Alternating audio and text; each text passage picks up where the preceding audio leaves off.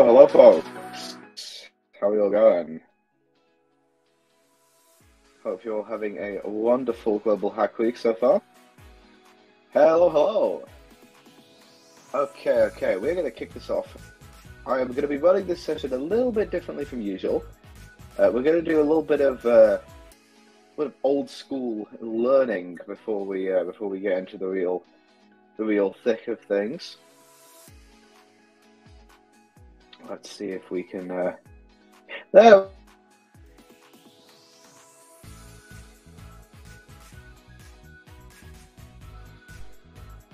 Oh, are we back? I'm seeing some slightly unstable internet. We'll we'll see if that holds up. Uh, we're going to be doing a, a chunk. Let me just bring that music down.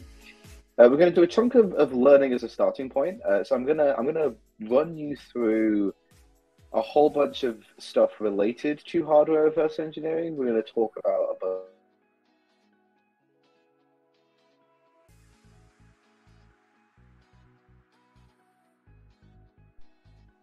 and like the the whole goal here basically uh, like hang on the, uh, the the whole goal here basically is to build up a set of knowledge that we can then use to go on and implement in a future program. So the the plan here basically is to sit down, figure out the fundamentals. We're gonna talk through a whole bunch of stuff related to that.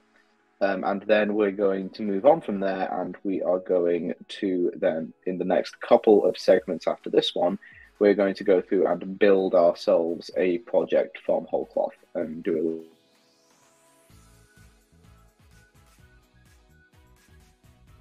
But so, uh, what is hardware reverse engineering? Well, um, hardware reverse engineering is taking something like this calculator and digging all the way underneath the stuff that you get when you just normally turn it on and take a look at it to figure out exactly A, how it works, and B, what things are actually making it tick. There's a few different ways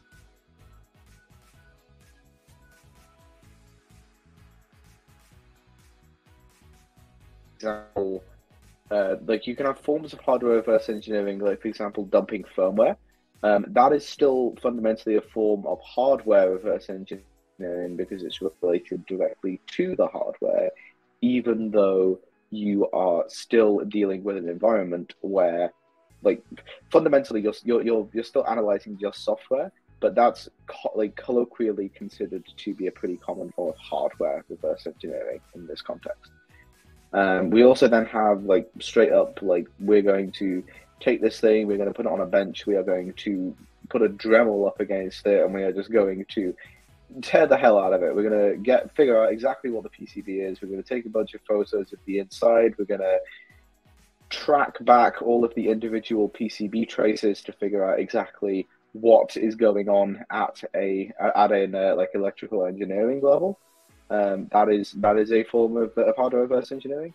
Um, we've also got chip decapping, which is a very fun thing that we will be talking about in a bit, which is uh, basically where you use um, various forms of chemicals and solvents to basically take the plastic off of an integrated circuit. So, like the little chips that you get, like the little black chips that you get on PCBs, you can melt the plastic off of those and then actually look at all the tiny little bond wires that are inside those integrated circuits to then figure out exactly how that circuit works. And that requires actually depends. Sometimes it requires specialized equipment.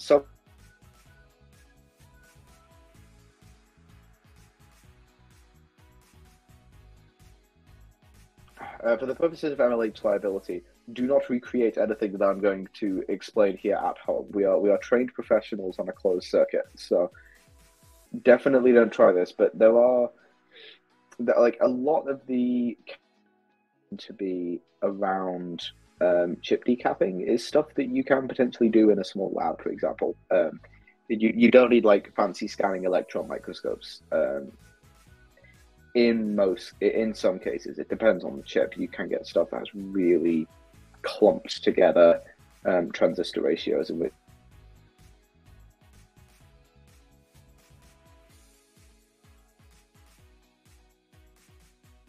um, from the folks that we have in chat, you have at some point um, either used or heard of um, the company Texas Instruments. They make the uh, the very veritable line of uh, TI-83 calculators. They also make a whole bunch of uh, other very very fun ones. Um, this is one of the more fun ones. This is called the TI Nspire CX. Uh, this is basically an entire free FreeRTOS machine running in a calculator. It is, it is absolutely absurd. It was designed, I think, originally for like very fancy scientific scientific computing, so it can do lots of fun stuff with like visualization and, and graphs and things. Uh, but the real fun with this is the fact that under the hood, this thing is basically an this is an entire computer, and if you can figure out how to reverse engineer the underlying part of this we can then basically take what would normally be a relatively boring off the shelf calculator and get it to do some really fun stuff. So, um, here as an example, um, and we'll, we'll, actually go and look at this in a second. Um, let me see if I can pull this tab up. Um, yes, so um, this is a the list of USB protocol events that this particular calculator supports. Uh, so this does a whole bunch of uh, various fun things. Um, it has individual, it has a whole set of underlying packet formats. It has various services for doing a whole bunch of different things. Um, all of this has been quite wonderfully uh, documented on the TI Nspire hacking wiki, and all of it was acquired um, by reverse engineering the protocol itself, mainly by uh, sniffing the USB packet data um, and looking to see what was actually going on under the scenes. Uh, so, let me see if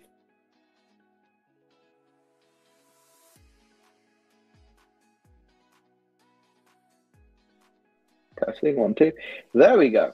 So this is the TI Nspire hacking wiki. So this has a whole bunch of various information in it. Um, we're going to focus mainly over here on um,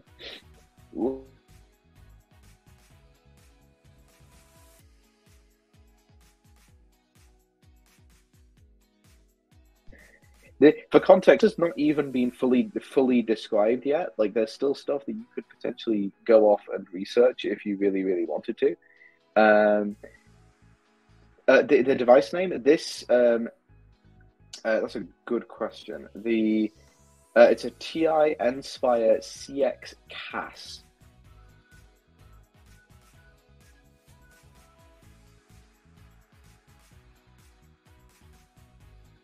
That one. Um, they they they will run you about hundred and fifty ish dollars.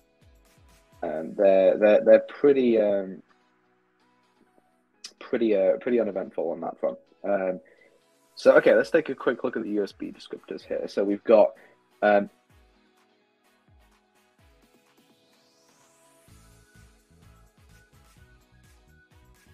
used for OS upgrades, and it also isn't.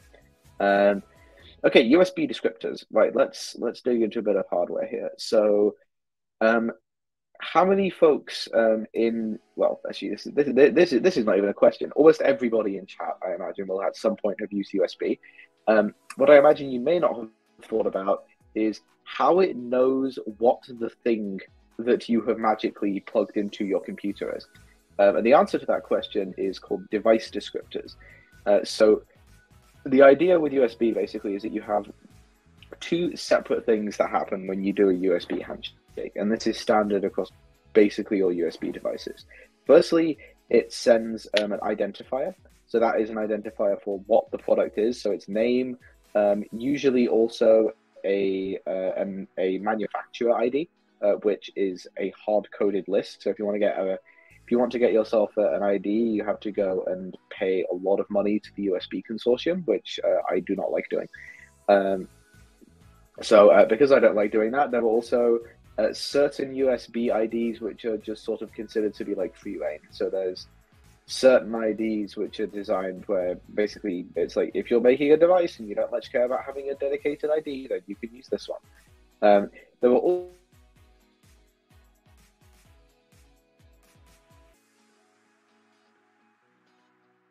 um, your configuration descriptors and what the device actually is. So you could have a configuration descriptor, for example, that says, "Hey, I am a mouse," and therefore it will know that, like, regardless of who built the mouse, and, reg- and without having to install dedicated mouse software, as long as these two devices both speak like USB mouse protocols, then it should just work straight out of the box. And that's that's one of the like key fundamentals with USB is like the whole like the whole point of it is that there are like certain hard coded things like keyboards and mice and um, like certain forms of audio interface, uh, speakers, like um, charging infrastructure, really big one. Like these all have like fundamental like configuration descriptor standards. So it doesn't matter what your thing does, it knows exactly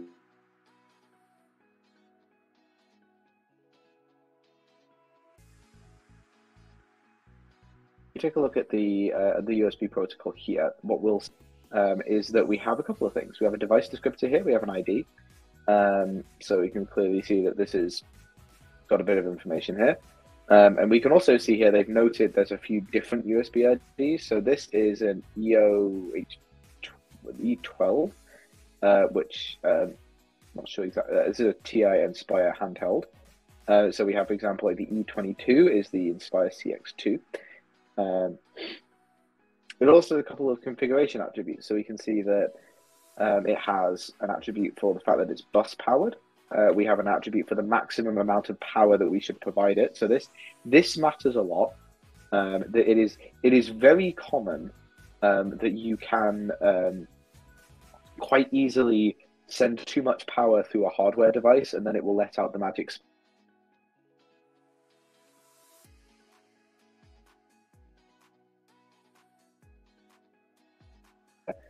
uh, your stuff just doesn't work. So USB has solved for this by saying, hey, when you do the initial handshake, which you do on a very low amount of fixed power, which all devices are guaranteed to support, you don't like fire a thousand, like you, you, you don't you don't fire six amps down the line initially.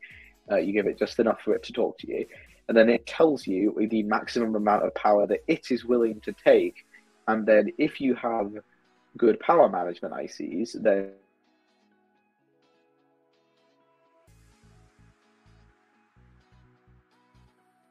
questions. Um, what is the session plan? Uh, we are going to be talking about reverse engineering with hardware. We are not yet going to be building any projects. We are laying down the fundamentals to do a little bit of uh, hardware reverse engineering uh, in the next couple of sessions. Um, yes, I was at Hack um, so I don't doubt that you uh, you met me there. Um, wonderful. Okay. Um, wanted to strip this down to do some reverse engineering. Okay, Casio FX. Uh, let's have a look at this. 991 ES Plus. So this. Okay, this is this is a slightly older scientific. Right. Uh, oh, I no, I've I, I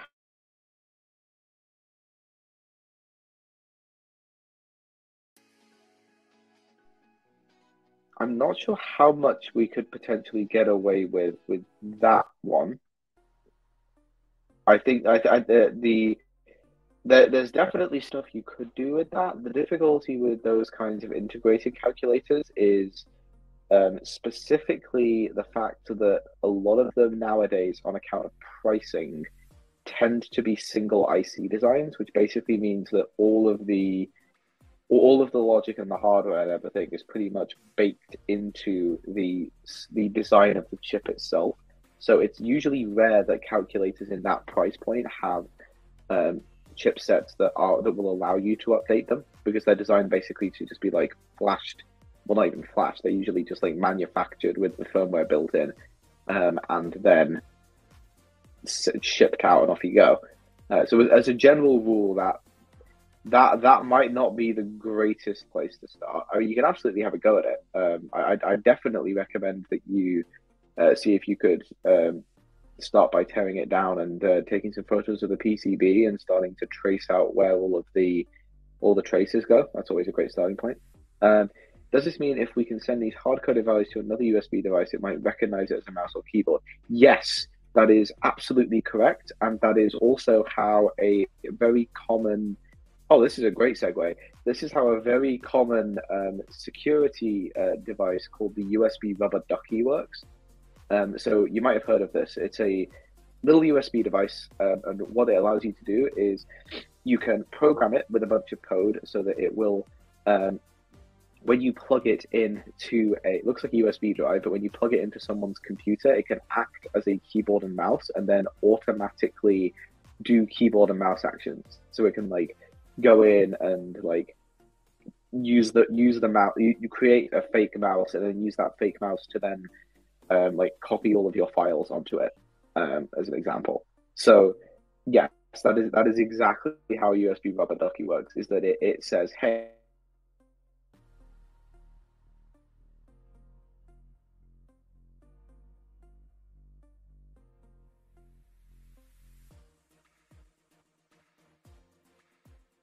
Then gets to just act like all three, um, and, and and the system just doesn't care. It's like, yeah, you have the right.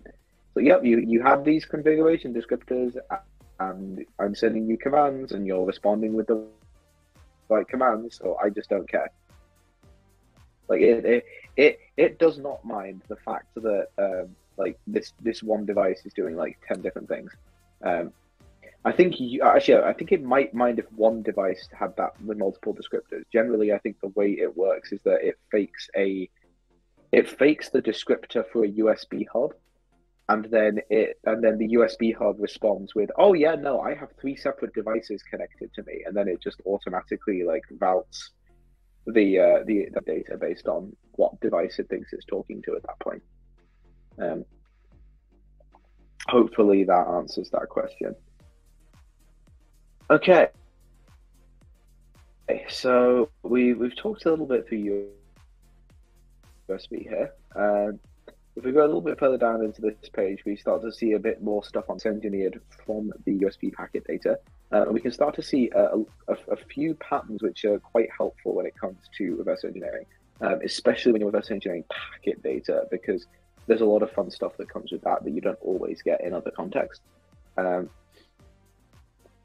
so as an example here, uh, if we look at the actual packet format, um, the first thing that it starts with is a constant. Um, and this this is usually a pretty common thing. If you if, if you're analyzing packet data in the wild, especially packet data that's being sent between two hardware devices, always, always, always like like like like eh, firstly get a whole bunch of it. Like get get as many like like like record as much data as you possibly can do, but then put it all side by side and like start looking for patterns in it. Like run it through a run it through a diff tool. Uh, see what see what matches up and what doesn't, because there will probably be, and it's usually the first two two to four bytes, or potentially something a little further in. There will be a fixed constant value, which is like hey the which is usually like the hey I am this kind of packet like identifier. Um, in this case, we have 54FD as our like starting constant. Um, and then immediately after that, we have four bytes dedicated to our source address and four bytes dedicated to our destination address. Um, and then also some stuff for service ID, um, same four bytes again. So what that provides us with um, is we can then is we can then we can then similarly if we diff it and we see, hey, these two values keep changing around depending on whether the data is coming from the computer. So we could reasonably infer at that point, with like a relative degree of confidence, that the like the data that, that like the whole reason why that's switching might be because of other things, but if it's that consistent, there is a pretty good chance that it's because the direction of data flow is changing. Um, okay, so there's a couple other things here. There's a checksum, um, on the data segment. Um, and we can see here that the uh, is that hang on DC Yeah, there's a checksum. So it's so it's a fixed two byte checksum for the data part. So that that's fine because that means that the rest of the length won't change, which is why it's earlier in the sequence. Um, and then we have the size of the data part, which is also two bytes. Uh, which which again, the fact that it's two bytes that tells us a few things. It tells us that the, for example, that let probably with in, in all in all reasonableness, though this again might be something that you you would want to test any larger than the maximum value of a two byte number. Like that is that is useful information to know because it means we can start to set these we can start to set these limitations down pretty early. Um, so we then have uh, data part itself, uh, a little ACK segment, which is used for acknowledging packets, um, a sequence number, and a another checksum, which is always fun. Um, we have some service identifiers. Uh, so if we go down here, we can see all of the different types of service which are loaded onto the thing. Uh, we have some stuff on sequence numbers, some stuff on acknowledgement. Um, but let's let's actually go and take a look. We'll we'll talk about the USB protocol a little bit later. But what we are going to start off with here is I want to I want to take a brief look at the hardware, because um, there is some uh, some nice stuff in here. So if we look at yeah, here we go. Yeah. Okay. So let's let's take a look at this. So this this is the the back of said PCB. Uh, this is this is the back of one of these calculators, and immediately we can we can start to pick apart a few things, right? So um, there is some. Okay, actually, let, let's. I'm I'm going to throw this to chat. What is uh, for you folks watching? What what are the things that you that immediately come to mind um, as, as stuff that is like relevant for hardware reverse engineering when we look at this at this photo. Like we've just we've just opened this thing up. What are the immediate thoughts?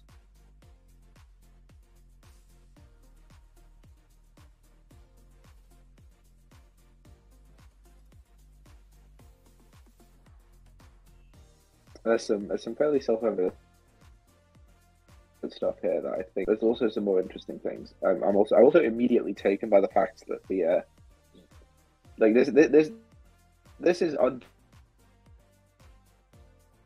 entirely unrelated, but I, I'm just so thrown by the fact that best people for this is on the that is unhinged design. Absolutely, un- absolutely off the wall. Um, Yep. Okay. Ports. Yeah. Absolutely. So we have we have what looks um, like USB up here. Uh, might not be. It has five pins. It's a slightly weird shape. I think I think it's USB, but it also might potentially be um, well, it might it might be USB Type B actually, um, maybe.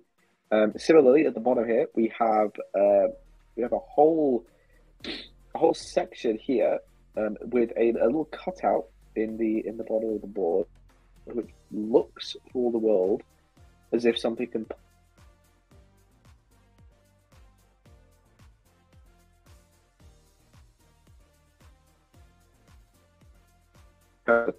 we have two ribbon cables, uh, which are both streaming in, and then uh, both of these, if, if, we, if, we, look at where the traces are going, and we follow all of these around, cu- we have a couple of traces that are going off to this um, ribbon cable here, but then almost everything else all goes down, all goes down into this giant ribbon into this big ribbon.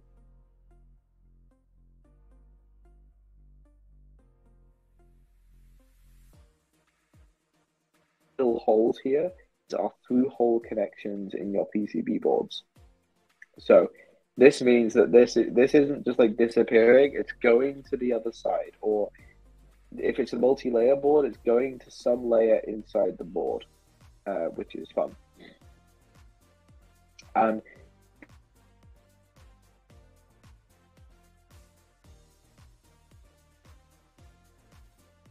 what I think are top of here, we have um, a couple of resistors here and there. We have a few more capacitors. We have some, uh, a uh, couple of some little transistors here, or possibly diodes. Uh, we have a chip, um, and in fact, we uh, we have a, a, chip with an identifier on top of it, which is um, LP324M. And the other thing that you can do when reverse engineering hardware a lot is that you can uh, you can just Google stuff. Um, and what we discover when we Google LP324M um, is that we actually get uh, a page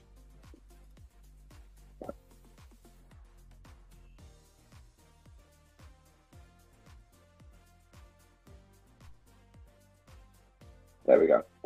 We actually gauge for a Texas Instruments chip, um, an LP324M um, micro power quad op amp. So again, makes sense. It's a Texas it's a Texas Instruments device. It would stand to reason that they are using Texas Instruments chips. So we can be pretty confident at this point that that is probably the right identification for it. Um, so we've got a whole segment here that is dealing with a bunch of flaws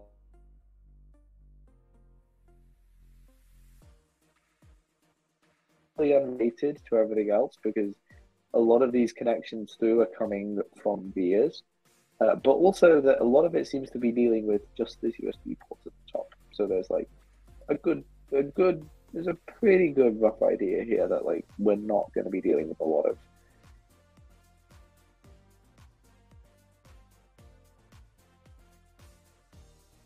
ribbon cable. And for what it's worth, these we, we can also make a pretty educated guess based on where this is located that either these two ribbon cables or this ribbon cable on the side um, and I have my I have a sneaking suspicion that the one on the side is actually the display here rather than the ones on top uh, for reasons that I will explain momentarily.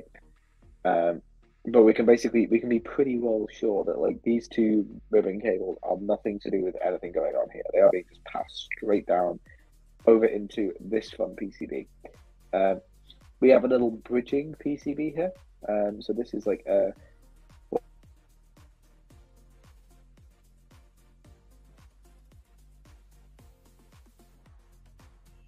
because it's cheap. Um, you is like if you need to fit like a strange case shape, for example, you will design two PCBs, like as we have here. In fact, we have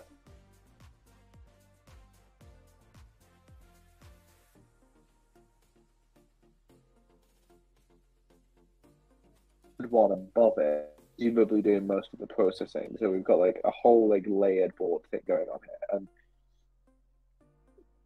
as part of that, we've got this little um, this little linker uh, link, this is a linking ribbon cable. Uh, so this is a flexible ribbon cable uh, that is connecting these two fixed uh, PCBs. So these aren't flexible; these are just like hard FR4 material.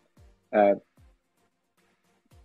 but we can also note here that um, okay, there's a few again. There's a few very interesting things that are going on with this board.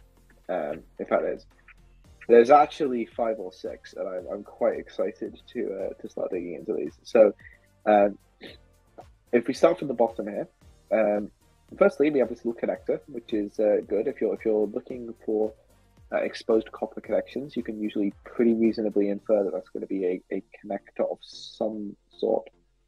Um, if we head on slightly further up, um, there's a few things that immediately jump out to me. Uh, the first of which is this little thing here.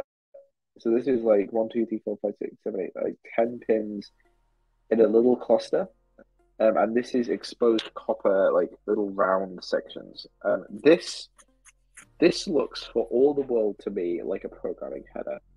Um, more like in fact, in fact, this looks like a very specific kind of programming header um, for a a uh, for a, a piece of programming hardware that has escaped the name of me right now, but it's like a very lovely tiny little pen with a bunch of pogo pins at the bottom of it.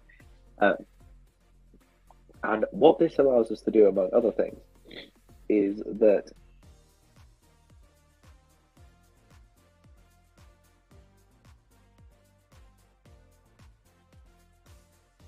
CPU of this device. So this thing gives us um, this then gives us all kinds of um, fun opportunities to then start to go, hey, well, if I let's say like if I trace this this one out, this is going to like the five volt line.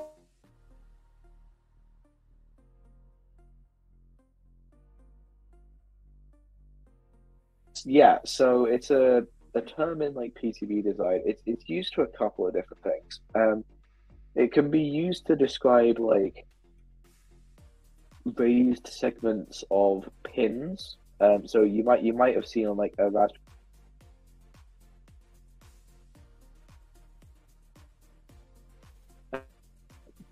those are commonly referred to as pin headers. Um, so that's a fairly common uh, term there. In this context, I'm talking specifically about this section at the bottom here, um, which is a section of the PCB where they have taken um, individual, like,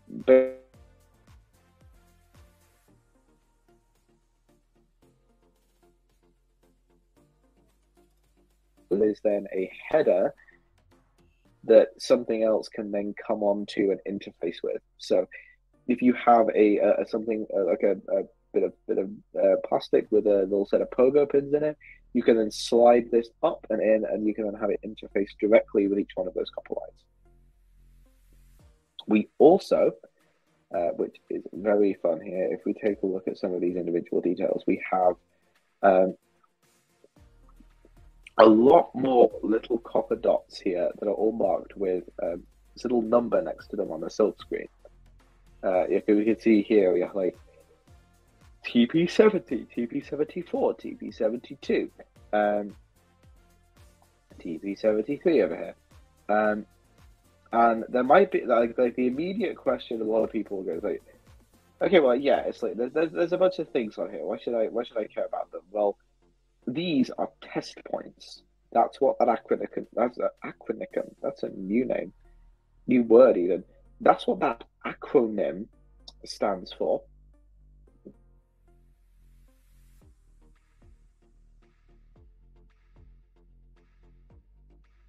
Those is again and solder a tiny wire to them or trace them out, um, so you can like you can follow follow each one of these, uh, and it takes a little while, but you can do it. Follow it all the way back to wherever it's going, and then you know that hey, okay, this is this is going specifically to this chip over here, or it's going to do this thing, or it's going over to this. Um, and what that then allows you to do is instead of like like a common thing you, you might have to do at some point, especially if you're reverse engineering stuff that doesn't have exposed test points, is to very gently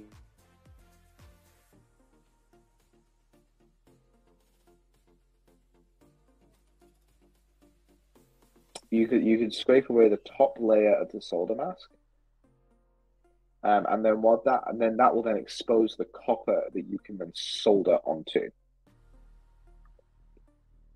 So there's an element there of like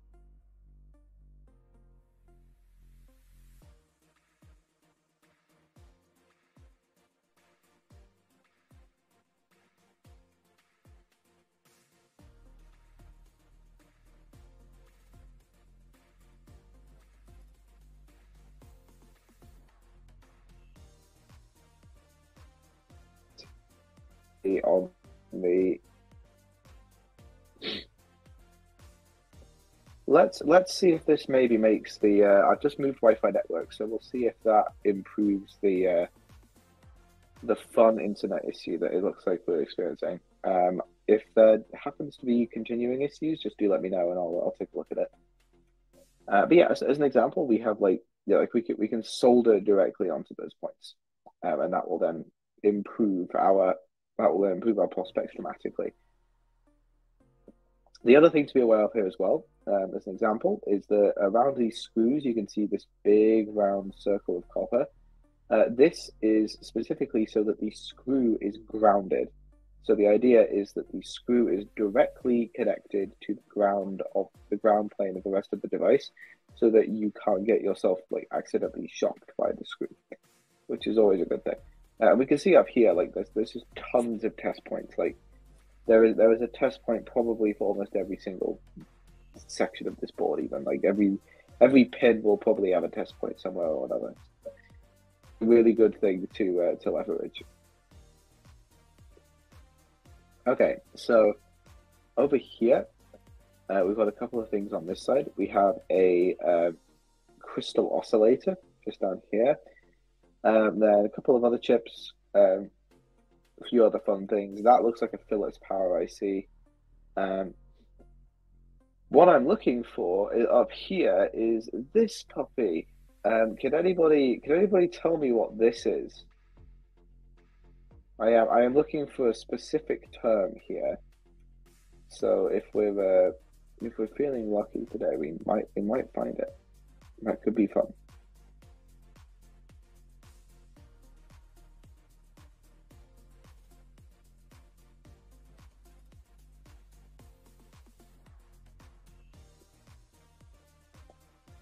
Any guesses?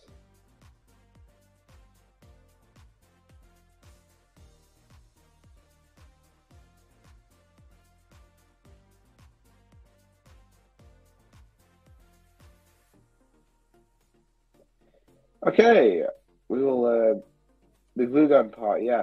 Um, close. No, this uh, this is a bodge wire.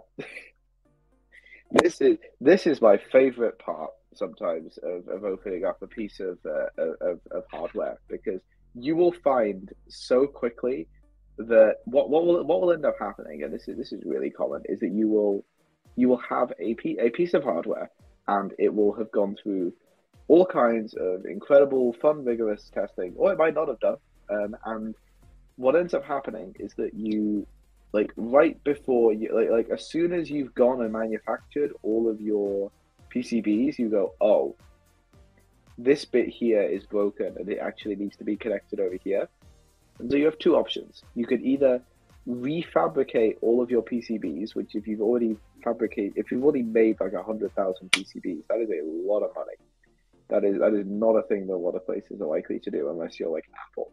Um, what they will do instead, in a lot of cases, is in instead of like having to like make a whole new PCB and like wasting all of the existing PCBs and everything, they will um, they will take uh, a little a little wire and they will uh, they'll just solder it uh, between those two points, um, and then usually you'll get a little dab of hot glue in there, uh, which is basically there to uh, to keep everything from to stop it from moving around.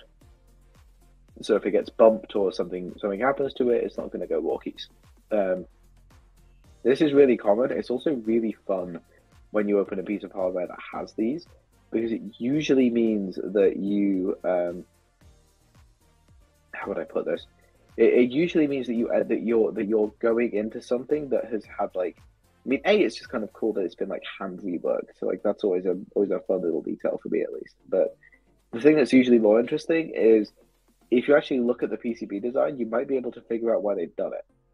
Like there's like there's usually a thing of like, hey, like this chip over here that's bridged to this chip. Like the the, the two lines on these are both chip select. So I guess that means that this chip didn't have chip select correctly routed on the board, and then you go and uh, you go and trace the uh, the PCB trace right back around, and you go, oh yeah, no, actually, that did not have um, I did not have that attached at all, which is uh, which is a really bad thing. Um, so there, there's definitely an element to that. Um, and then similarly over here, you see these big, big square pads. Um, these are again both both grounding pads, um, or potentially actually RF um, stuff. There's a, there's a distinct possibility that these might be RF related. Um, there's also a little cutout here. Um, I'm not sure whether that is specifically so that you can see or um, so that you so that you can see the display behind it, or potentially to allow light to filter through. Though I'm not sure why you would do that.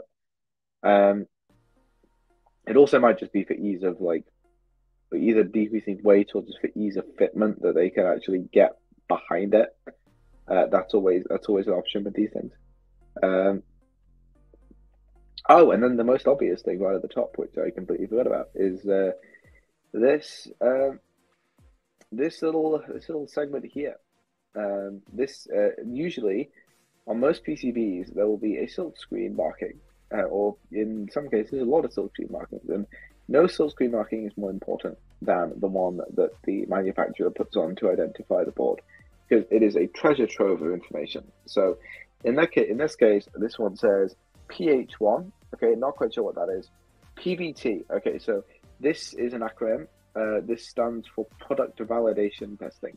So this means that like this version of the PCB, uh, this showed up at some point during the product validation testing cycle, which is usually like the second to last step before you actually get something out to market. So it's usually a pretty pretty late in the game, I'd say. Um, LCDB. Um, okay, this is um, this is apparently um, potentially a the a, the revision for a a B version of the LCD. Um, th- this could also be a common thing that you get with a lot of hardware is that you will have uh, situations where, like for example, uh, like like a specific part, for example, screens. Here's a because that's exactly what we've got here. Like it might be that you have you, you've got a great deal with this PCB manufacturer, and they're and they're making you like fifty thousand PCBs, but they can only make you 50,000 PCBs. And if you need to sell 100,000 calculators, then you might need to go to like PCB guy's friend down the road and be like, "Hey, I want I want 50,000 of your of your best PCBs." At which point they'll come back to you and say, "Yeah, you can have them, but like it's a different like layout. Like we're we're we're, we're, we're like clocking chip select or something. Like there's there's some some fluff going on." Um, and the solution to this is really quite simple. It is to um, basically just go through and design like two versions of the board. Um, and actually, now that now now that I say that, this actually now makes complete sense as to why these are two separate isolated boards joined with a rivet kit. Um, it's probably not because they were trying to figure out what shape to fit it in. It is probably because this top board is exclusively dealing with the LCD connection over here and then routing it down into a standardized layout for this board to then pick up. So what this means effectively is that that top board can be swapped out for any PCB that they want, so long as that PCB routes all of the all of the correct pins to the correct pinout for this board.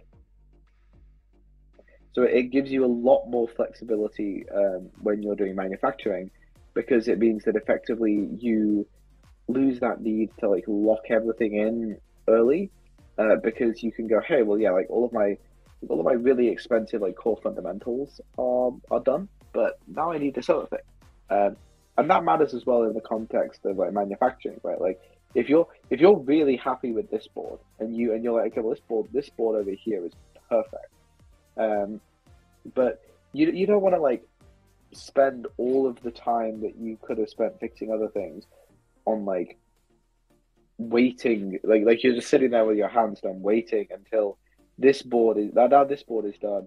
Now you need to build this board attached to it because you can't actually manufacture any of this board until you've finished all the design on this so like the fact that you can take all of that away and basically go hey yeah like this is this is the pc lcd board and therefore done. Like like that is that is fully decoupled effectively from from the board below it, which means that you end up with this wonderful situation where the board below it is functionally isolated.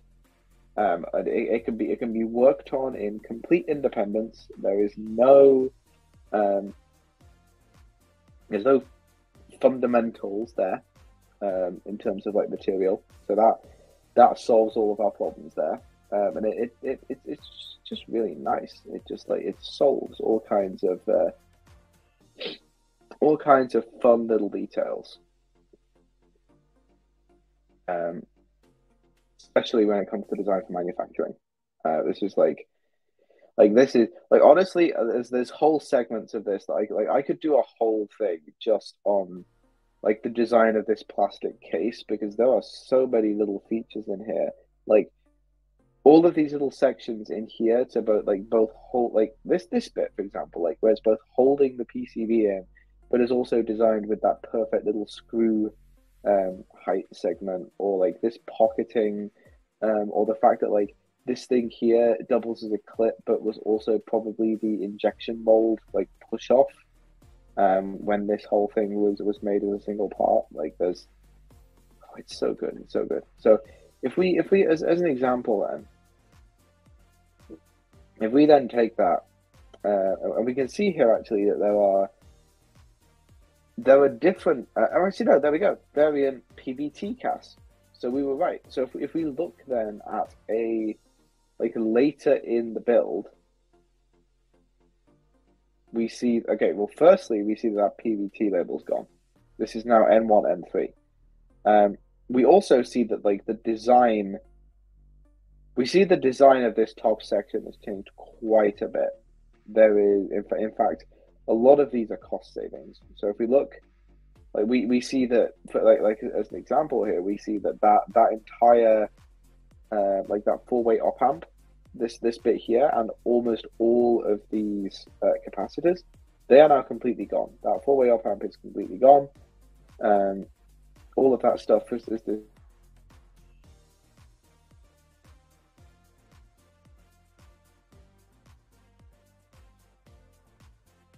on, on, a on a device that is being mass manufactured to this level, those are seriously big benefits. Like there is there's a lot of money in that. Um, if we also look at it, we can we can also then see again down here, this bottom board has has again completely changed layout. There were there were like there's lots less of this stuff, it lo- it looks like some of these, uh, a lot of these smaller chips here, for example, like all of this integrated logic, might well have been condensed into some bespoke chips, which are now being used here.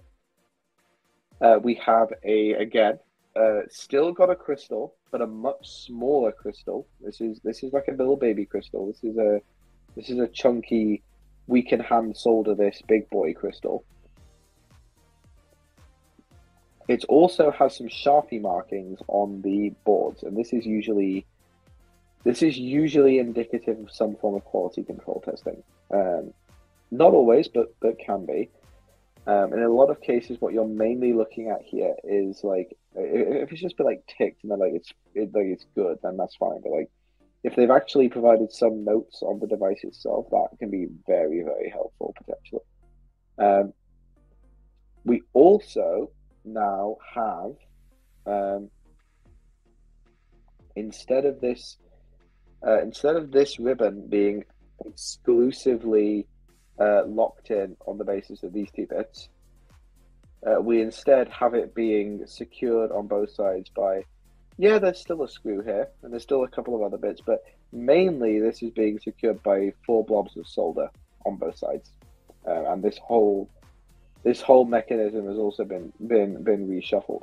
The cutout stays, uh, but the difference now is that um, all of that wonderful like like but all of that stuff that was probably running on the other side of this board. In fact, actually, this might that might be the difference. It might be that they've inverted the direction of this board. That it actually got flipped. Um, because I was going to say, like this, like for all intents and purposes, this does kind of look as if they what they've done is that they flipped the board.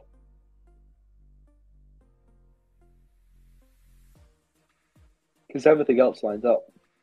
Um, we've also down here a little bit more sleuthing work. We have a what looks like a missing IC and we know it's not missing because this is like a validation version from way down the line. So we know this we know this works.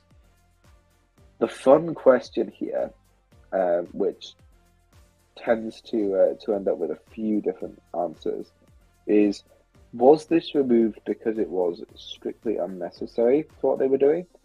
Is this a chip that is only uh, populated during specific, um, like for specific models? Is this like a like a fancy like like multivariate like regression calculating thing, in which case it probably then ha- does have it.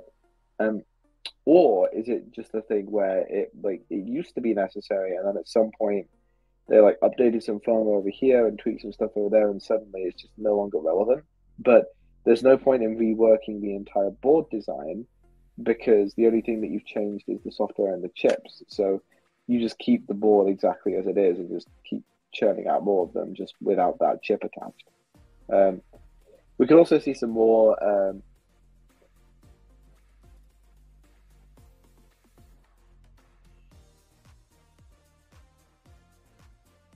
yeah, FR4 fiberglass. Um, so we can see that that's clearly working. Um, and there's a couple of other things here. There's a uh, there's what looks like a tiny button, uh, which is interesting. Um, I have an immediate gut instinct as to what that does, but I don't think that it does what I think it does in this context, uh, which is always fun. Okay, so if we uh, if we take a look at like an A variant TI Nspire, uh, or specifically the cast, like the first gen cast, um, and and immediately this is again a pretty similar, pretty similar layout, but now that we flip this board around, we can see a couple of different things. Firstly, this stuff is all is all covered over um, and, and, has a much thicker layer of copper around it. Um, and what that means, among many other things, um, is that they're looking specifically here for like RF shielding. Like usually, usually when you see a PCB that's like a massive ring of copper around it, it's grounded copper. It usually means that they're trying to deal with like signal interference. Um, and again, here we go. So we have like the front side of the PCB itself. So we have a in this model at least, they changed this later down the line. We'll take a look at those in a minute. Um, is like a grayscale LCD display um, and an ARM9 based 32-bit RISC processor, and, and we'll see here that like it it's actually it is branded. It says it says TI Nspire on it, but it's been designed by uh,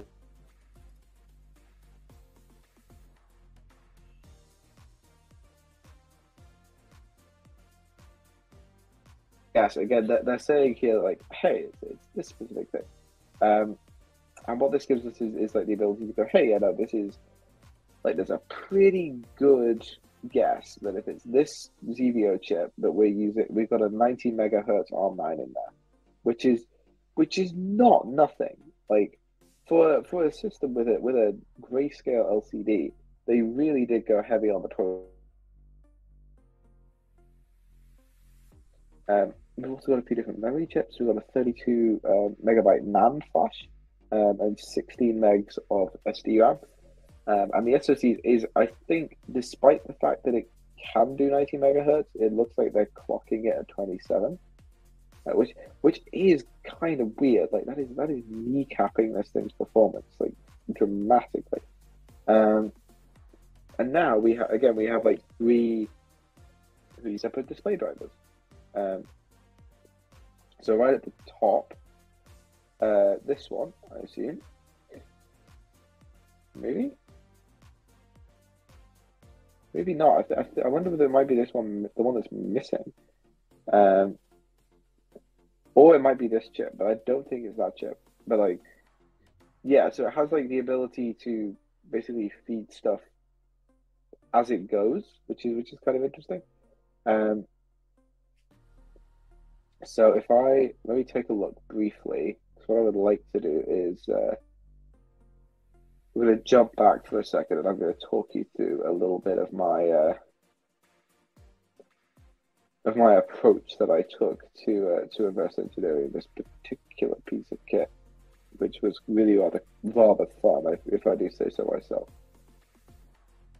So, um, the actual goal of this project, which I should probably have like made relatively clear up front. The idea was that what we wanted to do was to take communicate. We, want, we wanted to do the, the, the, the fun, laughable goal of running serverless computing on a graphic calculator. So the idea is basically that you would figure out a way to communicate between gra- graphing calculator and computer. You would then set the graphing calculator up with an application that could run some kind of code, and then you would send the code, you would invoke the code from your computer, and then it would do the processing on the calculator itself, and it would then bring all of that stuff back to you. It'd be great and fun and wonderful, and everybody would be happy.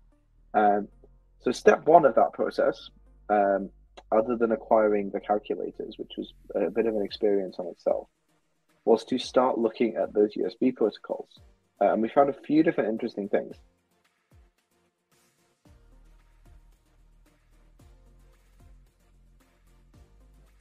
The um, the way that it handled file transfers, because I was very acutely aware of the fact that like if I was going to run any serverless stuff on there, like a lot of the payloads are going to end up being files, I wanted to know like, hey, how is this thing going to handle files?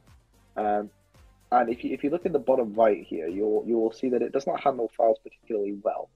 Um, in fact, more specifically, um, it is currently it is transferring a file to itself at a rate of 270 kilobytes, um, and that's actually a technical limitation based on the protocol that we discussed before. Because as you can remember, the actual length for how long your data packet can be can't be any longer than a number that is encoded as two bytes.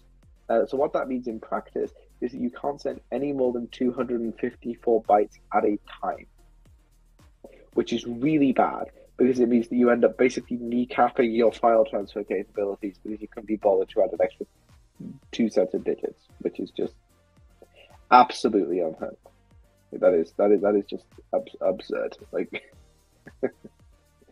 very very odd. Um, but you can see that it does work. There is there is file transfer stuff going on, um, which is ticking on, and uh, yeah. So I I'm going to take a quick break because I've been talking for pretty much an hour nonstop. Um, I'm going to take a break to grab some water. You should also take a break to grab some water if you have not already. Please do make sure that you stay hydrated during Global Hack Week. Um, I will be back in approximately five minutes, and we are going to continue uh, talking through this project.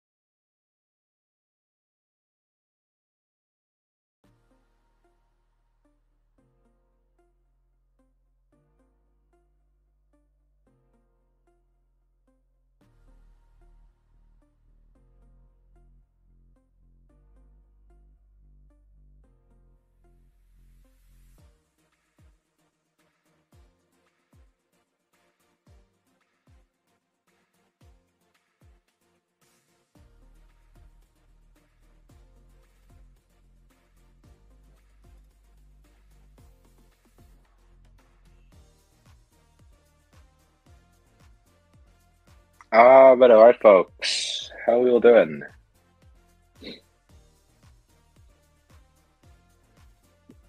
Hopefully, everybody's had a chance to uh, grab themselves a little something.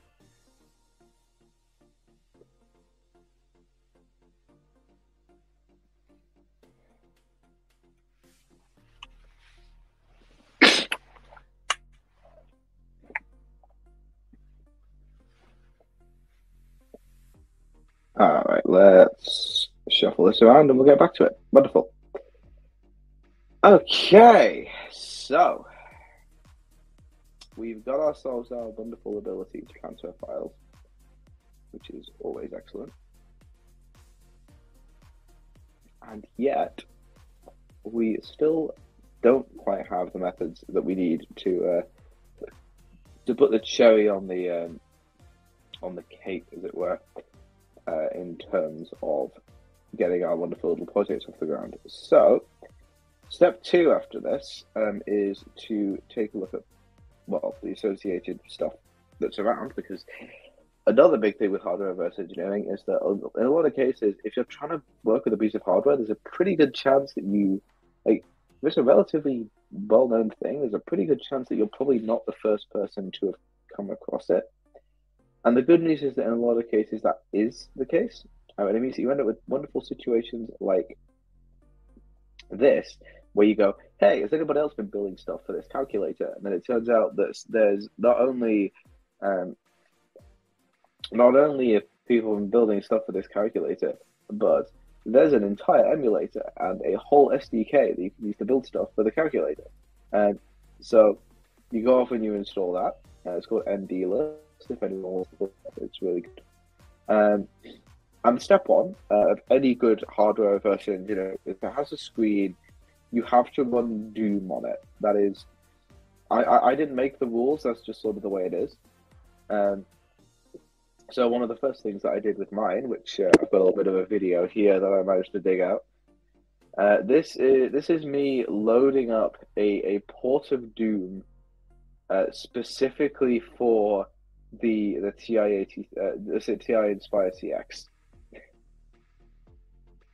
This this might be one of the most uh, one of the funniest things I've ever done. There, there's something there was something so beautifully stupid about playing Doom on a calculator. Like there's yeah.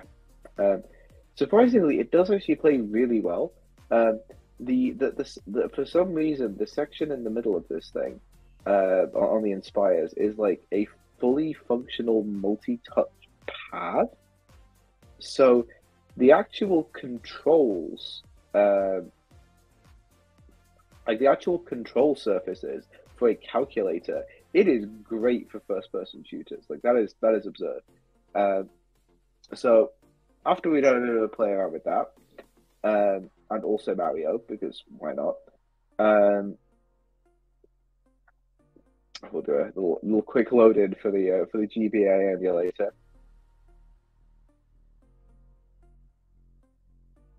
This is an example of what you really can do with these because they are so powerful. Like it's it's absolutely absurd the level of oomph you can get out of these puppies. It is it is just it is quite something. Uh, and I love it. It's it's so cool. It just it just pops, you know. Uh,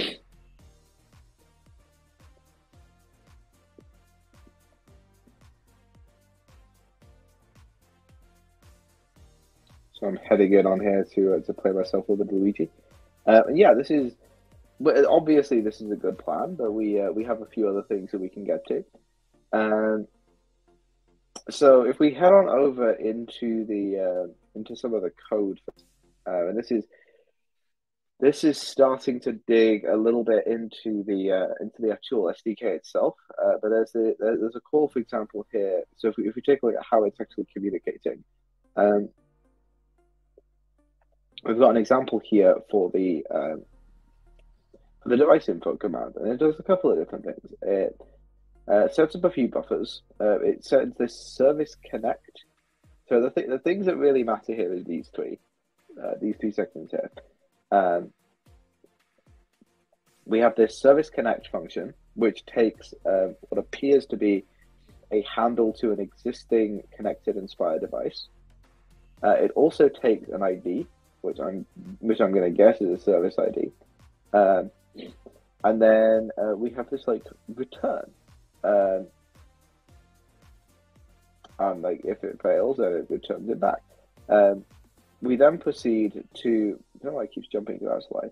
Um, we then proceed to like take the same handle we've like we've connected to the service. We then write a single byte of data, and then we read 253 bytes of data.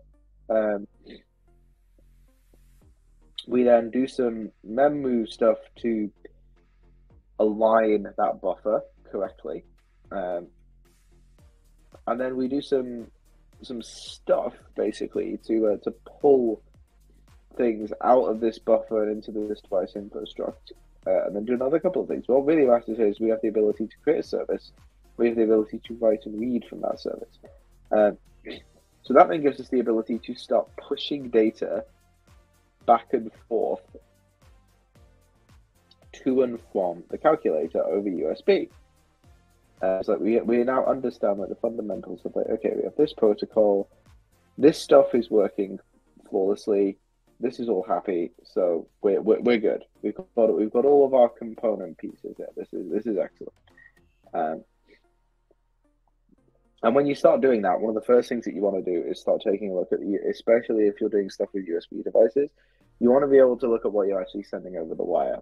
Um, and the good news is that there's a lot of ways to do that nowadays in the modern era. Um, Wireshark is really good at this because it has lots of functionality where you can basically just like load it up on your laptop and it can then immediately start like packet capturing all of the USB on that laptop. Um, that is probably the biggest approach I'd say you can take with these things is to then it's like like there's, there's a lot of really good tooling out there for analysis. Um, and for what it's worth, I think the more time that you spend actually looking at like the underlying like okay, well, I poke this thing and it does this. That's usually to me is, is like the, in a lot of cases, it's the fastest way to, uh, it's the fastest way to get things moving, definitely.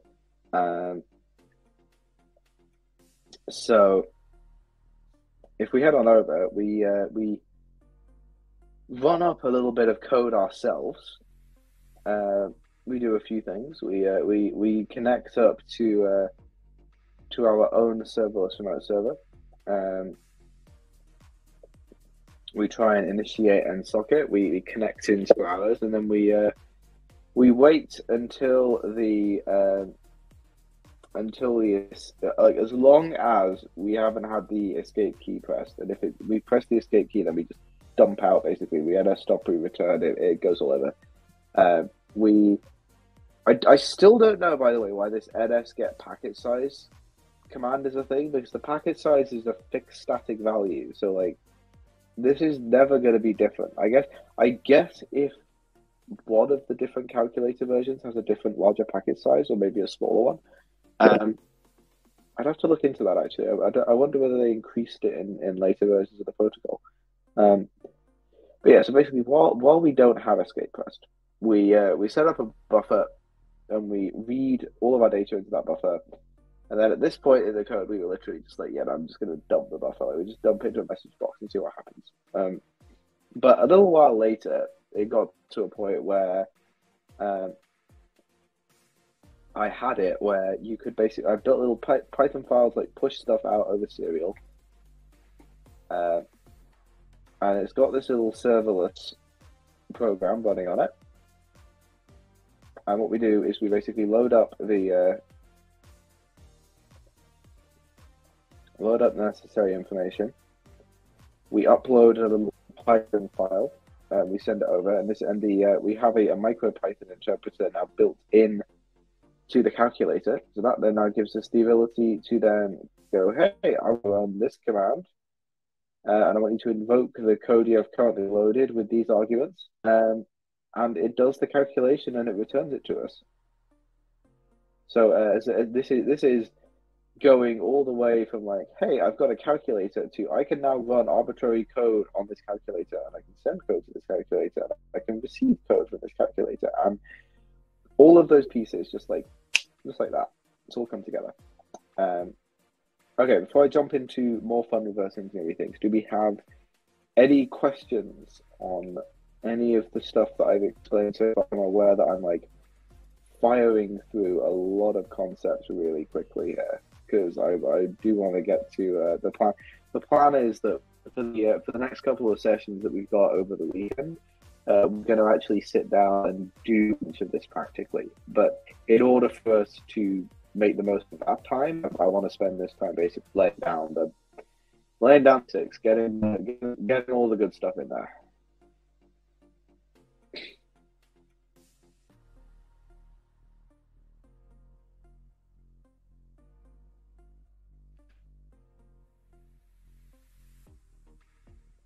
I'll give it a little little while for any uh, for any questions to drop in.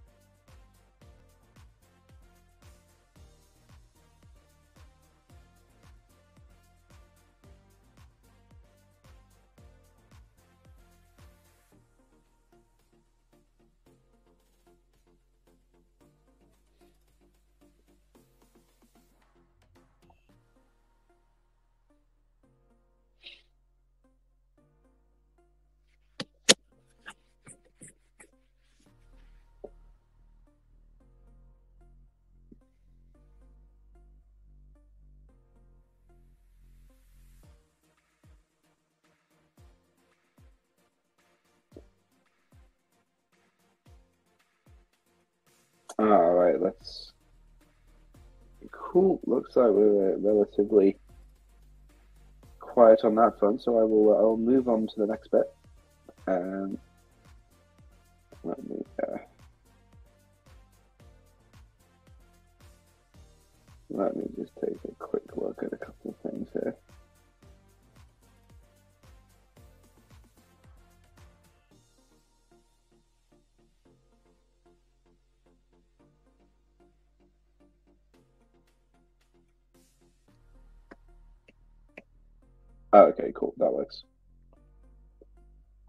Sweet.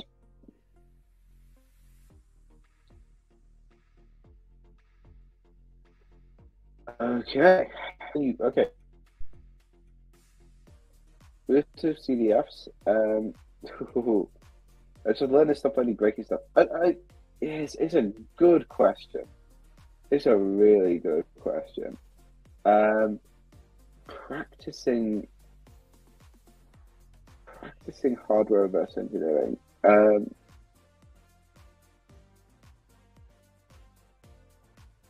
uh, yeah, I mean, there's a lot of there's a lot of really good YouTube content for this. Uh, the the best thing that I can recommend is that like I tend to watch a lot of YouTube content on this because I find that's a really good way to like learn a lot of the like uh, to like really embed a lot of the concepts around what's going on.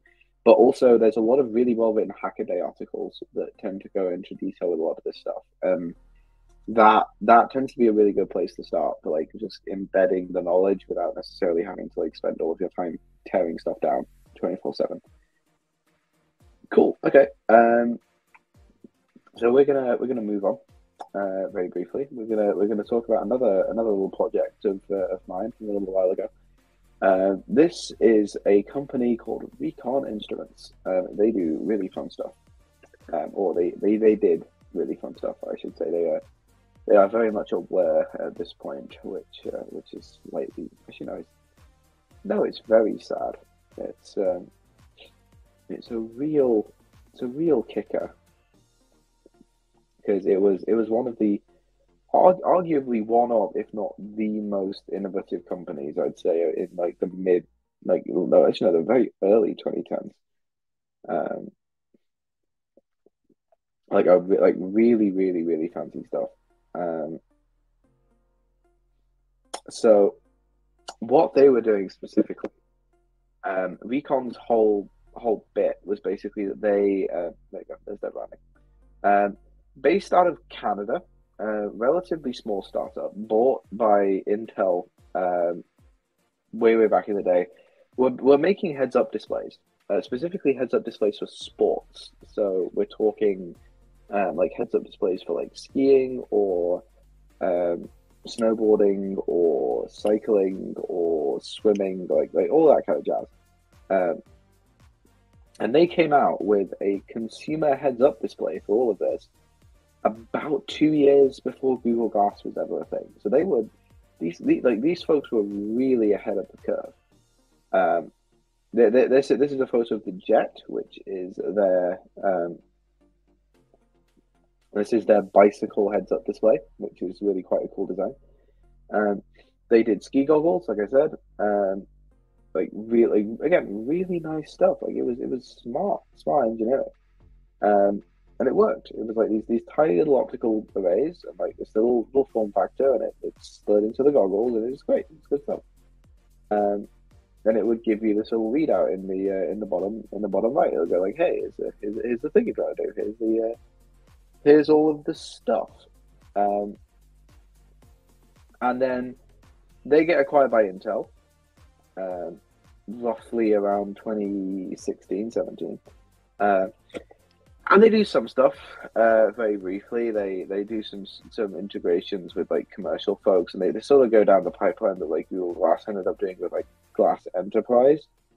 Um, but but in the end, they, they, they just quietly like sunset them, which which I, I personally think is really really sad.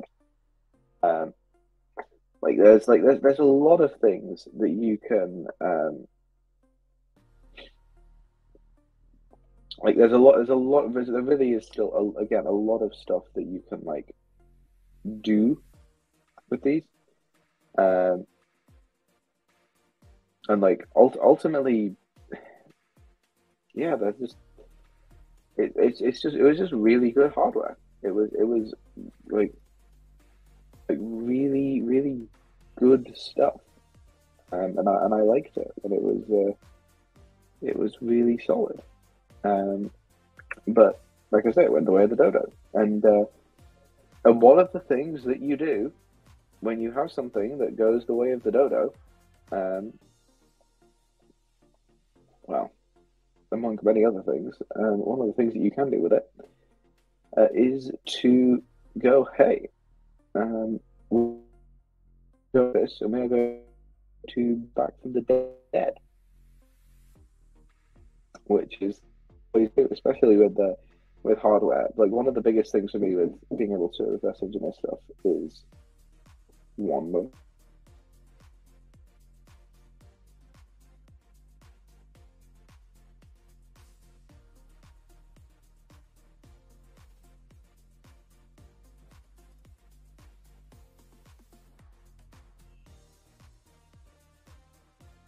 Right, we'll uh, we'll continue very briefly. Um, yeah, like one of the things I really love about hardware reverse engineering, especially, is the ability to bring stuff back from the dead. Um, so they shutter this thing, it disappears off, um, and I'm sort of like, well, how hard can it be? Like we can. So I spend a whole bunch of time like digging out um, different versions of these of these goggles. I like I, I go just all over the place. Um, like I find a, I find a couple of them on eBay. Uh, I find a guy on Twitter who's willing to uh, to sell me one, um, and I find this this listing here, which was uh, I think uh, some folks in the in like Canada that had it, and it was like it was a whole thing. So I'm, I've got I've got my hands on some. Uh, so it's like okay, right. Well, let's let's dig into some some of the firmware here. Um, and one of the things you very quickly figure out once you uh, once you dig out the uh, the specific details of the the underlying chipset um, is that this is a uh, OMAP board. Um, like the, it, it's it's noted on the board itself, but it's also very evident in the firmware. Like once you if you can get your if you can get your hands on the on the on the source files, which I'm not gonna I'm not going to technically say, but there are ways that you can get your hands on those source files. Um, and like they're, they're and like they're pretty, pretty well integrated. Um, so there's a whole segment over here. Um, there's a section. Uh, let's say like like the last OMAP chips were around 2013. So the um, it it was basically like Snapdragon before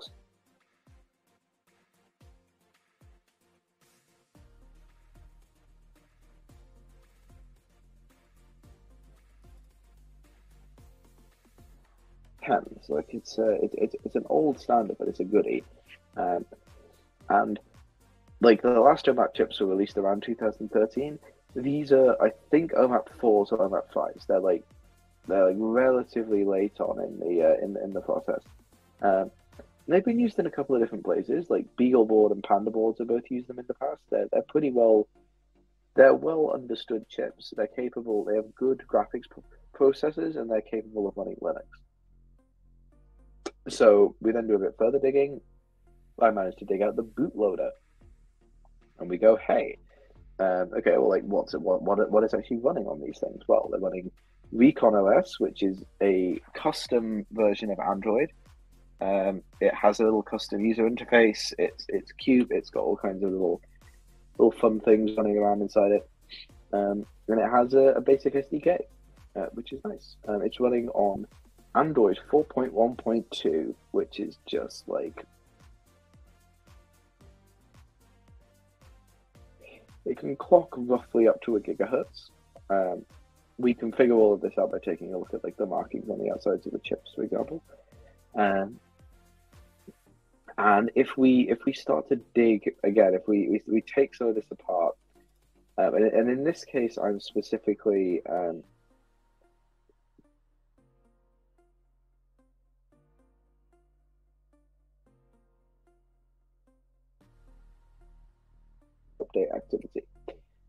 and we go, hey, okay, like what's what's going on here? Uh, and it goes like, yeah, okay, so here's how you here's how you update the firmware. There's a few uh, a few different dialogues that it can potentially show, ranging from like, hey, there's an update available to you are on low battery and we can't update. Um, there's a firmware update file observe.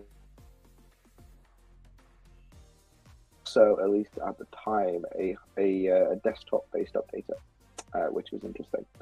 Uh, and we did a little bit of digging into that. And what I discovered is the way the updates work is, is pretty simple. There's two separate types of updates. There are map updates and there are like cache updates. So there's like the actual like maps of like like the skiing maps themselves, uh, which is one data set, and then there is the like cache data sets for um, like the actual like not just the geolocation data but also like the apps themselves which are updated from a separate binary and then the actual like system itself um so the way that this then effectively ends up working in practice is that the um is that you can effectively go hey um, I just want to update the apps, and then it will just. that if you, if you just want an update that only updates the apps themselves, you can just send one of those binaries and then it will go, hey, you've only got this one.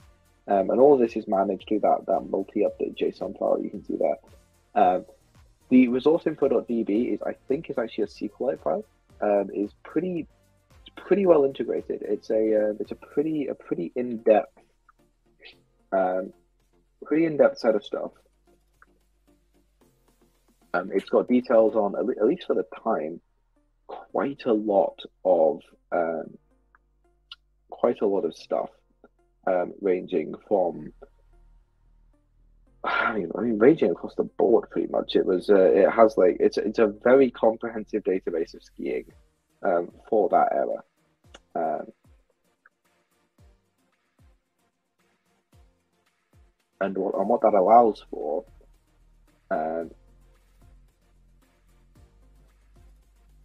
is a, a few different things, but like mainly what it what it what it means is that we can like go through and like update individual. We we can build our own versions of these files effectively, so we can do our own firmware updates. Um, so where I ended up getting to um, was that I started to to build out um, a chunk of that, um, and so we ended up in this this fun situation where um, I was like slowly like reverse engineering segments of the of the hardware, and then slowly building up um, some associated firmware, and then like constantly. It was this weird sort of like push and pull thing, um, where there where there's lots of like slowly trying to figure out how, um, slowly trying to figure out how um, how these things end up working in practice. Um, so, uh, so what we had in the end was basically um, what what I ended up with, roughly. Um,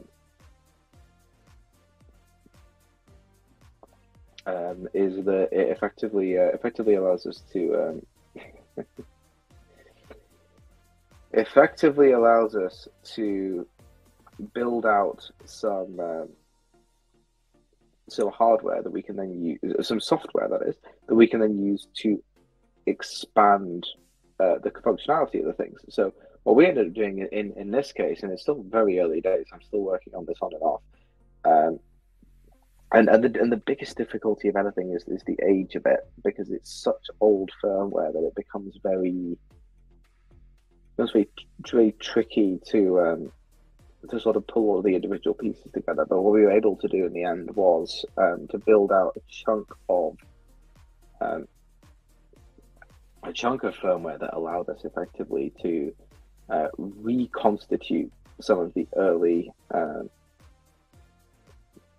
some of the early communication um, in the application itself. Um, so we had this idea of like, okay, right, we have this like like some some fundamentals here of like okay here's how here's how this is going to work. Here's these here's these pieces of the puzzle um in terms of like okay well we've, we've got like these these fundamental bits of like this is what works within the system already and this is what doesn't. Um like it, like, like as an example it's like like community like it would it would immediately block when you when you logged in when you logged into it, it would immediately end up blocked in some form or another on account of uh, the fact that it, it knew it couldn't talk anymore to its um, that it, it couldn't talk to its underlying um, like APIs. So we know that that was pretty. Uh, we we know that that at least was pretty limiting at that point. Um, so there was like a whole bunch of fundamentals there where we were like, hey, this this this just this just ain't it. Like this is there's clearly something very wrong here, but we need to like patch it together. So we built a little application to basically drop in um, that you could push via the update.bin that would then unlock that. Um, so that it would effectively jump straight from that like, hey, the API isn't available view straight into the main applications themselves. Um, which is uh, which is very uh, very intriguing. Um, so that, that that tended to work pretty well. Um, I was I was I was quite excited by it myself, at least when it when it first started to come out, because um, it was it, it was intriguing. Like there was a there was an element of like, okay, cool, we're gonna uh, like like we're actually gonna do this. Like like you can you, you can take this thing um, that, that conventionally would have just been like, I mean, it would have been dead. Like nothing, nothing would have come back from this. Um, and, and, we were able to take that and take this this brand new piece of uh, of, of, hardware, um, and we were able to just make it work, like like just off the bat, which is like really really fancy. Um, which, which, I personally think is, is, is a ton of fun, and uh, I, I I find it really exciting to take something that's like been dead for that long and just bring it bring it completely back to life again. There's something very uh, something very comforting in that. I think that's the uh, that's the biggest thing. Mm-hmm. Yeah, it's a very uh, it's a very intriguing concept.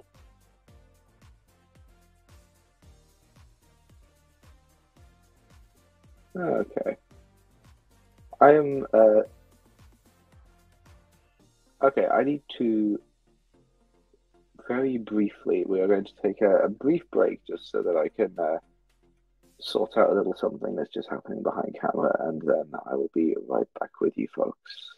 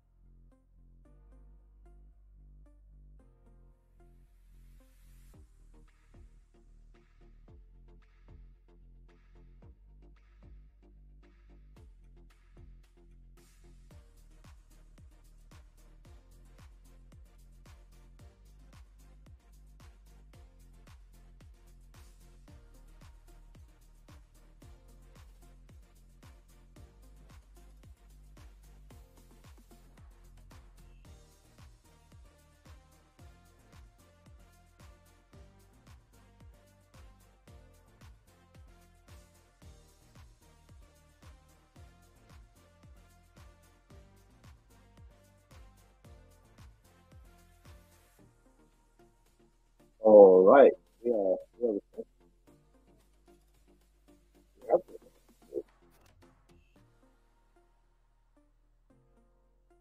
There we go. Okay, welcome back. So, uh, I'm going to uh, quickly regale you with the uh, the final reverse engineering story for the evening before we uh, before we kick off. Uh, this is a fun one. This is one about model trains. Um, this is this is a bit of a bit of reverse engineering, bit of uh, bit of just straight engineering stuff. This hopefully will be a little bit of fun just to round things off for the evening. Um, so, model trains. These are uh, little either electric or steam powered locomotives that are designed mainly for fun, um, but they are they're, pretty capable. They're, they're used in a lot of different contexts. Usually, like leisure, but um, in a lot of cases, they run like full-size railways. They have all the same safety problems, same kinds of mechanisms involved. It, it, it's, a, it's a whole like there's a lot of, of like structural fundamentals that you have to deal with with things like this. Like it's uh, there's a lot of important things that like running a, a loco like this.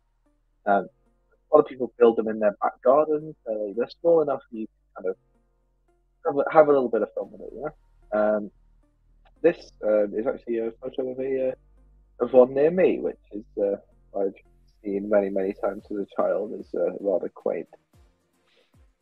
So here's like a rough a rough idea of, of what we're going to be building here. So this is this is reverse engineering an existing train uh, signaling system um, in order to uh, build our own model scale.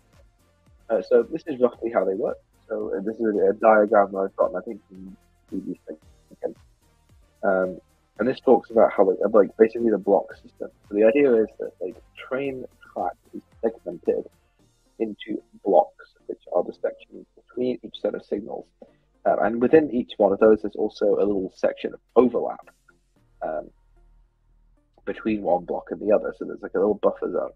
Um, and the idea of this is, is quite simple: is that like if you've got a train that is um, still in this block, like if it's in block 123, um, it knows that there's nothing in block 121, so that signal is green. But because this train has not yet entered block 121 because it's still in the little overlap section. This signal here is red, which means that this train is not allowed to travel through to the next section until that train is now cleared that little buffer zone and actually made it fully into the next block. Uh, so the idea of this is quite simple. It's basically that a train should not be allowed to enter um, a, a, a, prior block until the block ahead of it has been fully cleared of train. Um, the idea is that you basically drastically decrease the chance of something being run into, like one train running into another train, uh, like that that kind of thing. Like, there's there's there's a whole bunch of like of stuff that you can uh, that you can do there, uh, which is a lot of fun. Uh,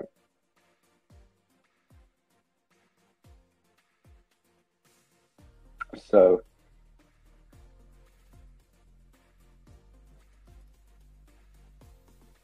so there's a whole concept that you can basically apply with there. Um, and, and, and, basically the idea of this was like we were going to like reverse engineer this existing hardware concept and apply it to a pre-existing um, uh, pre- pre-existing model railway. So the first thing that you need to do is build yourself some of these. Now these are um, well, these are axle counters. Um, and this isn't strictly how you would doing it in a model scale, but for the purposes of this, just follow along. Um, so the, the idea of this basically is that it counts the number of axles, like the number of wheels that go in to a particular block.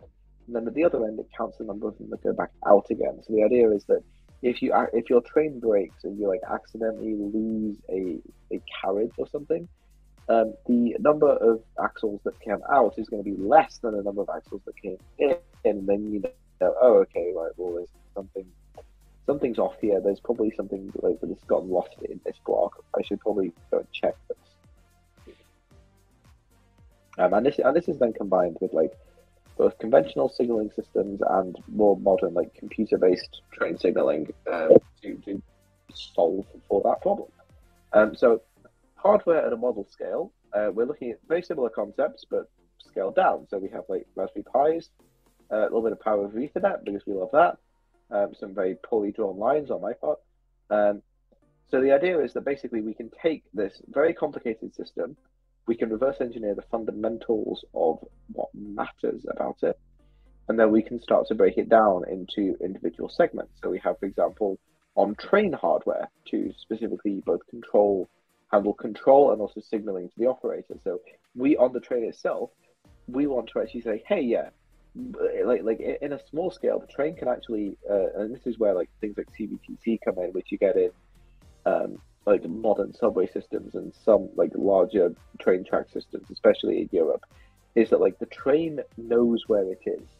And so on that basis, the train can then provide proactive information about the about, about the current state of the signaling system to the driver. So they can say, hey, the next signal ahead of us is red, so we should probably be slowing down right now. Um, we also need hardware for the signals themselves. Um, so the actual like physical, okay, hey, here's your here's your light or here's your little moving arm. That all needs some hardware for it. Uh, we need hardware for counting axles um, because we need to be able to know like what's going on in our point system. Um, in a lot of cases, this uh, in modern systems isn't necessarily done by axle counting, at least at the model scale. It's done by because there's so few trains in the in the circuit. It's usually done by a train tripping, like just going into a block. Like there'll be a there'll be an infrared like brake line, and then that will then be what trips off the rest of it. And that's that's usually pretty common. Um, we then need hardware for the actual axle counting itself, um, which, again is like we sort of touched on that a little earlier. Uh, and then we need some hardware for the points. So this is this is specifically like switching. So the ability to take a train and put it onto two different sections of track. That is something that is usually integrated with your signaling system for a couple of different reasons. Firstly, um, safety. Like you don't want a train to be able to accidentally go the wrong way and derail, uh, you want you want some kind of signal to automatically set itself to danger when that's the case, so that you don't have people accidentally derailing themselves left, right, and center. Um, but also because it's just usually easier to deal with all of this when it's in one one cohesive system. Um, and just for fun, why don't we, we add some microservices to this? Uh, so we are going to uh, we're going to do our tra- our model train signaling with Kubernetes because why not? Um, so this is a, a, rough layout of how our how our infrastructure could operate, reverse engineered from the from the larger scale form. Um, so we've got like each one of these runs a status node microservice, and then each one of these runs a different microservice depending on what it's doing. So um, for example, node discovery, like the big signal manager that sits in like a box somewhere over like the main control hub. Um, we have like status nodes, um, individual axle counters, um, the in-cab stuff, so the actual in-cab warnings, for example, um, status nodes, uh, level crossings, and signals uh, all sitting on one as well, because we could potentially have one Pi that deals with like a signal that is also next to a level crossing, for example. So that would be that would be handled as, as one one piece of hardware for these purposes. Um, why does all this matter? Well, um, as an example here, and this is a really fun one, I, I love to bring this up. Uh, this was a, I think Austria um, train signaling system that was built way back in the 70s, and it was all run on 8-bit microcontrollers. Um, and back then, trains were smaller, and also they didn't have 16-bit microcontrollers, or if they did, they were horribly expensive. So they built this whole thing on 8-bit microcontrollers, and then like 20, 30 years later, they suddenly have to put out this notice because what they realized was that if you have a train that has more than 256 wheels, which is pretty common for like modern um, modern locomotives that are doing a lot of freight traffic, for example, if you have a train that has like more than more than 256 wheels, you're going to end up in a really fun situation where if you have more than 256 axles on the train, um, the axle counter will basically overflow the integer number and go back to zero again. So you end up with an invisible train. Um, so it goes so it goes right from being like, yeah, no, there's a train in this in this block to like, oh, what, no train, uh, the train's gone. Um, so they had to put out this advisory that basically said, uh, to avoid falsely signaling a section of track as clear, um, the total number of axles in a train must not equal 256. So you could never build a train with 256 axles. You must have either below 256 or 257 or above. It can't it can't be that number because then it just makes it disappear. Um, which is which is really quite something. I mean, I, I, I never thought I'd see that particular note in my life, uh, which is really quite fun. Um, cool. So that is that is pretty much the uh, the end of this particular session. We are going to be uh, doing some real fun, hands-on um, reverse engineering with hardware in the next couple of ones on. Uh, let me check dates. Uh, next session is going to be on Saturday, and then we're also doing another session on Sunday. Uh, definitely rock up for those because we're going to be taking basically all of the concepts that I've explained today, and we're going to be applying them to a couple of really fun projects, doing a bit of poking around some PCBs. We're going to be talking through all of that, chatting our way through things. It's going to be a wild time. Um, are there any any hardware related questions? Um, feel free to throw them my way now.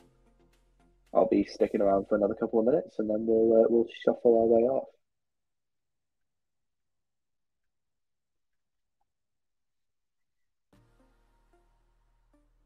Oh, we're also uh, the uh, the stuff we're going to be talking about then is we're gonna we're gonna talk about the we're to talk a little bit about the Disney Magic Bands, um, and then we're also going to try and hack my toothbrush. That is the that is the current plan. We are going to be hacking both the toothbrush and the way my toothbrush charges because I would like my toothbrush to be able to charge over USB C. Um, because I like that. I think that's an effective uh, an effective thing, especially for travel. Um, and uh, because I have US, I have a European toothbrush. It only has the European charging plug on it. So we're gonna we're gonna see if we can't do a little bit of fun there. Uh, I think it's inductive charging, but I don't know yet. So we're gonna tear down the charging block and, and see what we can get at. Have a little bit of fun.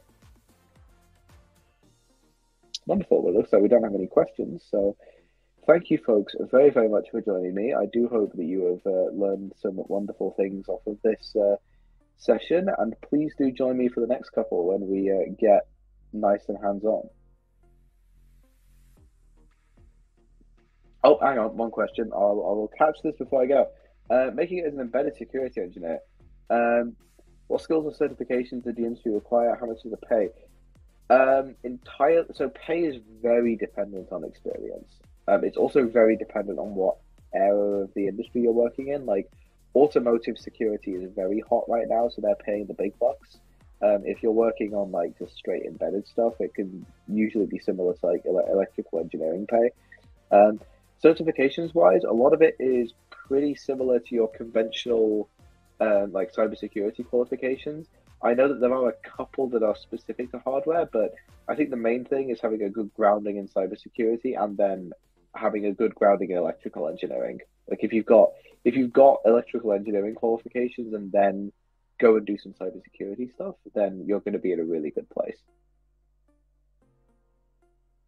All right, wonderful. Uh, thank you, folks, very, very much. Uh, and I will see you all on Saturday. Happy Global Hack Week.